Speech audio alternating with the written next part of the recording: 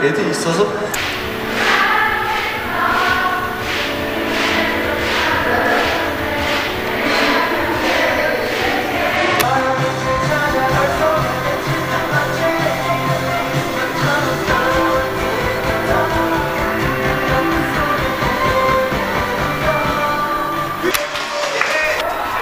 삼층 꼭대기부터 한분한분 가보려고 계속 오늘 공연 아주 성공적으로 마무리했습니다.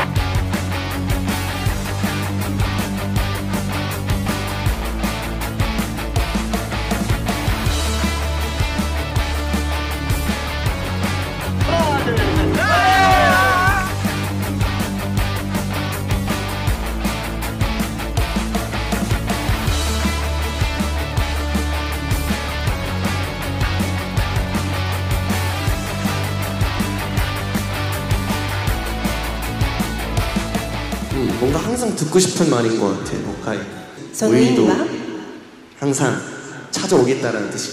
파이팅! 하나 둘 셋